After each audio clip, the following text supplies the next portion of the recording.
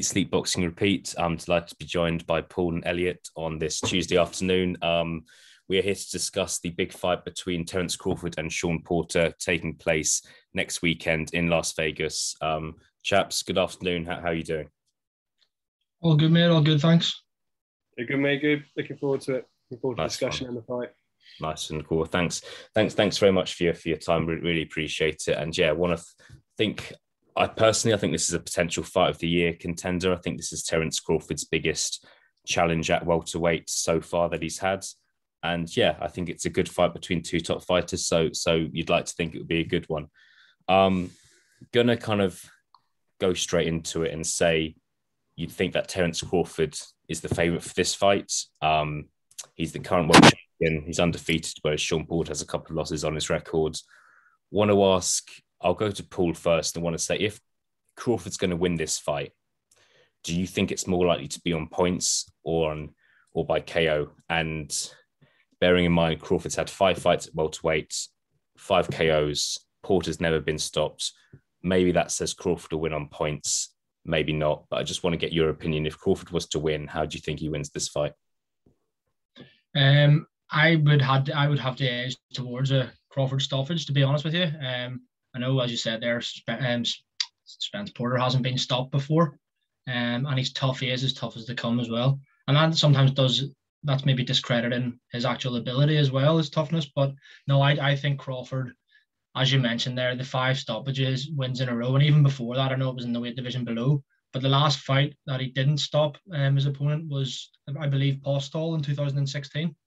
So that's quite a long time ago, over five years ago. Um, since he hasn't got his opponent out of there um, within the distance. So I, I think, yeah, I think Crawford by a late stoppage. I know we might be doing a prediction or whatever later, but I would have to edge towards a Crawford stoppage victory um, personally. Fair enough. And I'll just, I'll, yeah, I'll ask, I'll ask Elliot the same question really. Um, do you think, yeah, do you think we're likely to see, I'm not saying, you know, Crawford's definitely going to win. How's he going to win? I'm saying, like if you, if he, if he was to win, how do, how do you see, how do you see it happening, Elliot? Um, you know what? It's a tough one. I'd, it is that for me the, the, debate is whether he'll win by KO or not. I think looking at it, I mean, I mean, you say obviously he's had five stoppages at the weight, but you've got to look at it. I'm going to go two of those fights with Kell Brook and Amir Khan. So you're sitting there going, all right, so let's probably knock it down to three. And then like, there's a kind of, um, I think, I think Shawn Porter's obviously like says never been stopped, and he's been in CV wise with some better fighters than Terence Crawford, in my opinion. There's a bigger fight in some ways for Crawford to prove himself than it is for Porter. I think Crawford will win. I mean, I've got a prediction, obviously, we're doing it later, but I think um, he will win. But I, I, to be honest with you, I, I can see it 50 50 for me. I think if it is going to be a stoppage, like Paul said, it'll be a late stoppage. Um, obviously, we saw him touch down against Errol Spence, obviously Crawford more concussed than Spence. So I think I think somewhere around 10 to 12, he could possibly stop him. Um, but if I had to put my neck out on the line, I don't think he will. I think it'll be a points win. Fair enough. No, no, next, next on the line indeed. Fair, fair play to both of you. Um, so now we've kind of discussed Crawford a bit there. Obviously, at the same time, got to accept you'd like to think this would be a competitive fight. Two of the best welterweights in the world. Um, so just want to focus on Porter now. Just want to ask, do you see this as a 50-50 fight or or not? And if it's not a 50-50 fight, how much of a chance do you give do you give Porter? Do you give him like a ten percent chance or a thirty percent? Talk to me about it, Elliot. I'll, I'll, I'll go to you first on this one. You know, I think I, I agree with Paul when Paul was saying that I think Porter is unlucky, and I think that his boxing ability is often overlooked, um, in the sense of him just being kind of durable. But then also you have to look at it and go, every time he's kind of stepped up to those sort of next level fighters, he's tended to lose. So you look, at obviously, he's lost obviously to Thurman, Errol Spence, um, lost Kell Brook as well. But obviously, yeah, there's good wins on there against like Danny Garcia and people, even a kind of Adrian Broner, and make of Adrian Broner what you will. Um, and the Spence fight was closer than I think I thought it would be going into it. Um, so yeah, I think I don't think I think he's got a live chance. Definitely, I do think, like I said, with Terence Crawford, like we're going to come across probably as a bit as a bit strange in saying this, but I've never like obviously see him buzzing around the sort of like pound for pound list. But for me, I always think that he needs he needs a couple of better opponents on his on his resume before we can even start talking like that. So I think for him, coming in here against Porter, that, that's a chance for him to actually elevate his position. Um, so I actually think I wouldn't see it as, as an 80-20 by any stretch. Um, I think Crawford will win, but I see it more like the purse, like the purse is itself, 60-40 probably. I think I'm leaning towards towards Crawford in this one. Um, yeah. But equally, equally Porter's got a chance. And they're both the same age as well. So you're looking at it that way. There's not a lot to really choose um, between them. I mean, I suppose you say, yeah, that you'd have to say that Porter's got more miles on his clock. Um, a lot of those split decision wins or like decision wins that he's had, a lot more rounds. So that might come into it. But I think he's definitely got an opportunity, definitely got an opportunity here. Um, so I think it's 60 40, 64 44 for in my opinion. And similar sort of question that we touched on with, with Crawford. If Porter's going to win, what do you think is more likely a, a KO win or a, a points win? Um, bearing in mind Porter's got 31 wins, 17 by stoppage. Um, but yeah, what do you think? What do you think is more? What do you think is more likely there? no, I think it would have to. It would be. It would be points win. Um, yeah.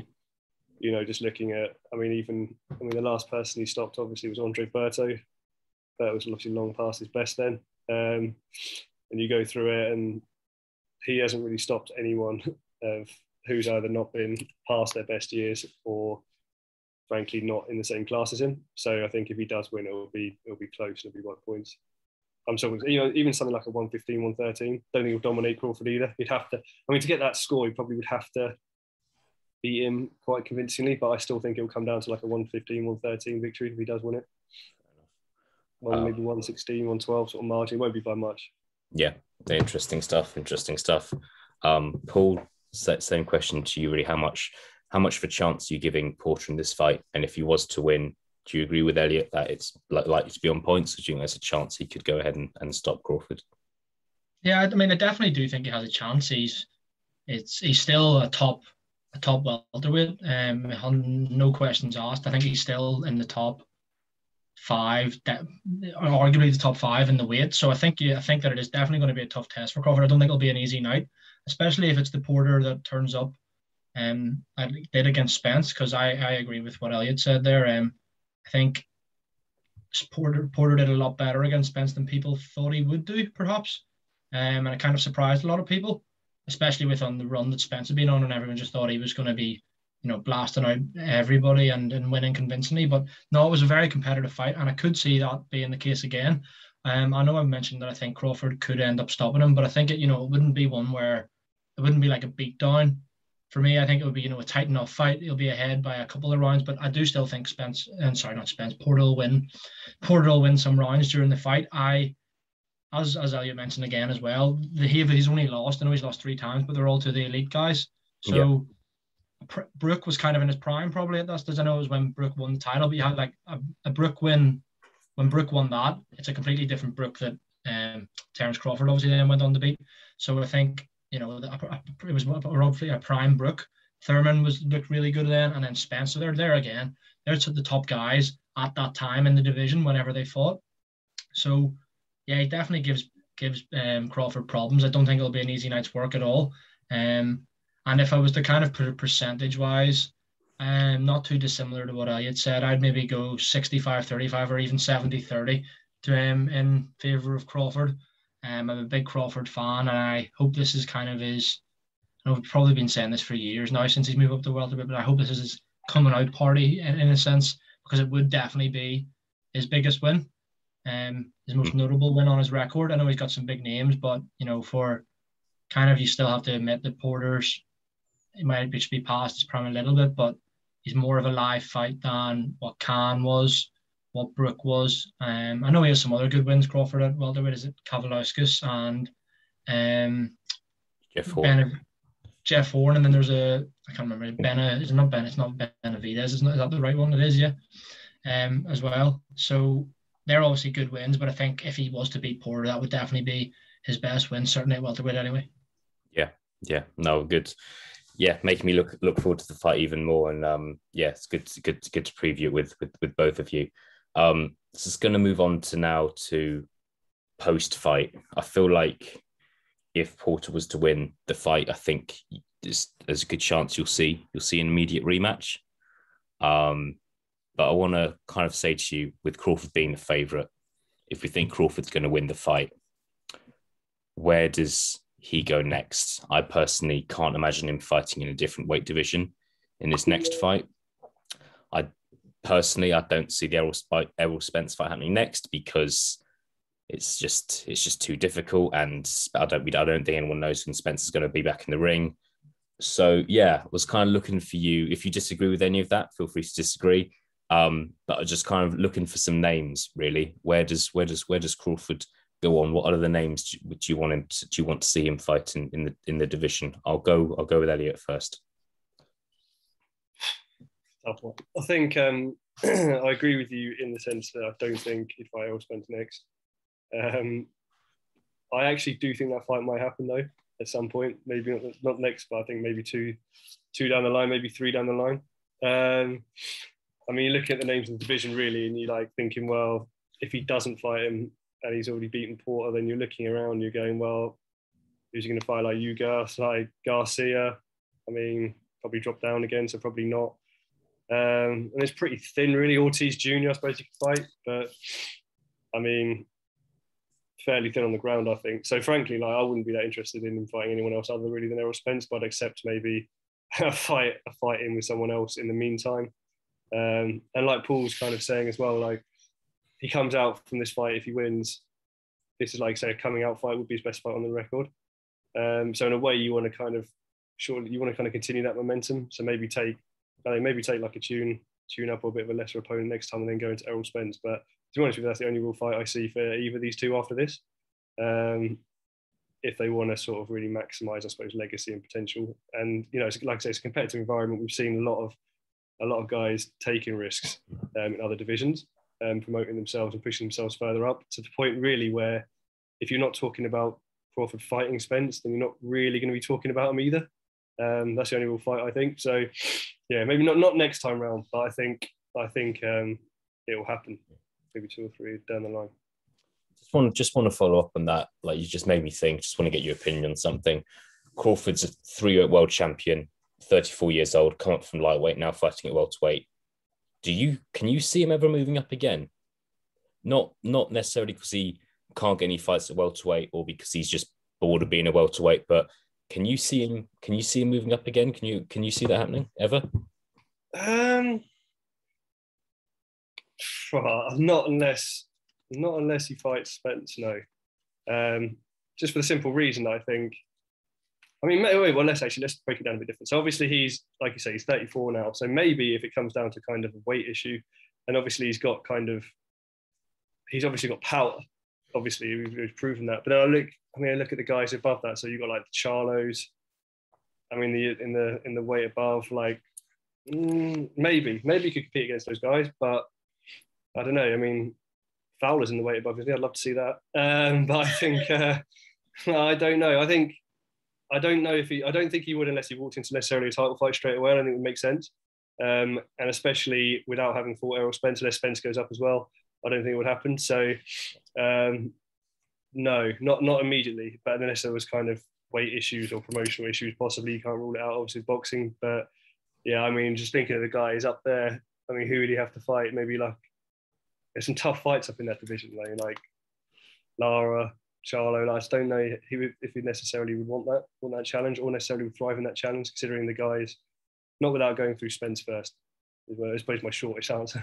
not without yeah. doing that first. I'd um, I'd lean towards personally. I'm not sure I ever see him going up that that big. I personally think I don't see him as a particularly big welterweight. I think he's grown into the weight, but I personally think unless there are no big fights from at welterweight left, I, am not sure I see that happening personally. But we'll see. It'll be very exciting if he did. I'm, I'm all up, up for fighters moving up and down the weight divisions as they, as they please. Um, so Paul, going to go to you as well. Um, where if Crawford wins, there's a big if. If Crawford wins, what do you where do you want to see him him fight next? Do you do you think there's a possibility of of the Errol Spence fight happening in 2022? But what, give me some other names that you you really want to see Crawford go up against. Yeah, I think obviously the Spence fight's just the one that we all really, really want. But like you guys, I'm kind of a bit skeptical. I just don't, even if he was the win and it was an impressive win, and even if in the, in the post fight he was like, "Yeah, I want to, I want Errol Spence next," I just, I still don't see it happening next. I, I like Elliot. I do actually think it will happen. I think that fight is too big not to happen. Mm. Um, I think it will eventually happen. Maybe back end of the year, another year too late. You just don't want to get that fight too late because I think Crawford's obviously a good few years older than Spence as well. Um, so maybe from Spence's perspective, maybe he wants to wait a few more years, um, because he might play into his hands. But in terms of other guys, really, I think the only ones, obviously, um, since Ugas beat Pacquiao, you know, Crawford could maybe fight him if he was to win, pick up another belt. But then there's a weird situation going on with that the WBA belt as well, so I'm not 100% sure. Um, it wasn't a bad shout as well from you know, one of the young, hungry, up and coming guys. Well, maybe give them a chance against Crawford, your Boots Ennis or your Vergil Ortiz, someone like that.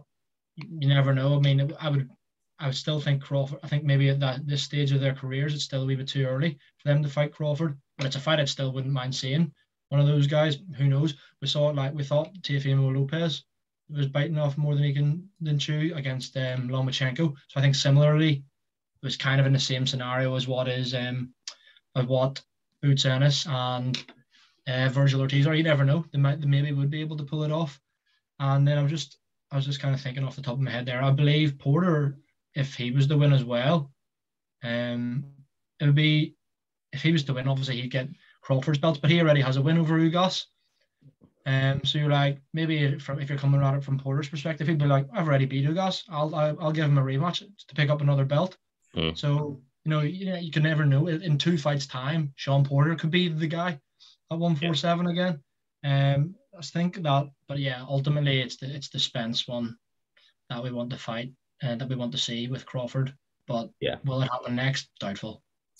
I think you're right. I think for as until that fight does happen, if it does, that's always going to be the center of the, com- of the conversation. Whether you've got Ugas, Ortiz, whoever, that's that's the fight that people want to see. But who knows? Maybe maybe we'll see it. Maybe we won't. All right. Um, coming towards the end of our chat now, gents. But I know we touched on predictions beforehand, but if possible, want like a concrete prediction from you both, bearing in mind this is before fight week, this is before the press conference, the weigh in. People are allowed to change their mind if they want to.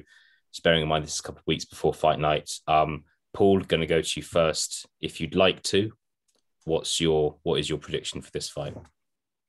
Yeah, I kind of alluded to it at the beginning. I th- I think I think we're going to see a Crawford stoppage. I really do. Mm-hmm. I think Crawford's going to stop Porter definitely it would I don't for me it wouldn't be the first half of the fight unless you just caught him cold, but I don't see that happening. Um so for me it would be the second half of the fight, edging towards the later rounds. So I'll I'll go I'll go rounds I'll I'll do it give you a two round. I'll go rounds nine to ten. So there's that's my bracket. I think Crawford could stop him rounds nine to ten, but it wouldn't be surprised if it was eleven or twelve as well. But I don't want to pick four rounds. That's too many. Yeah, no, it's completely completely fine. Was yeah, pretty pretty um yeah, pretty standout prediction there. Um Elliot, same question. Give give me a prediction. So tough. I think it depends. Obviously, I think my part of my thinking is depends on the tactics the Porter brings into this. Um, I can I can easily see what Paul's saying is happening. Um, I can see him maybe like picking up some rounds early and then getting stopped late. But equally, I, don't, I think it's going to be a hell of a fight. To be honest, I'm actually I'm going to stick with what I was thinking initially, which is going to be uh, Crawford points, uh, relatively close, um, similar fireworks to what we saw tactically and, and in the Spence fight with Crawford, with Porter. Sorry, um, yeah, I'm going to go Crawford Crawford points. I can see a split D, but I'll probably I'm going to go with with UD. But I can I can see any of those three things happening. But I'm going to stick my neck out and say I can point to UD Crawford. Fair enough. Interesting, interesting. Um, if anyone, what about you, Elliot? Uh, me, uh, um, honestly, before this, I was going Crawford points. After this, I'm edging towards Crawford's stoppage in the second half of the fight. And I'm going to sit on the fence because I'm in charge here. So, I'm not going to.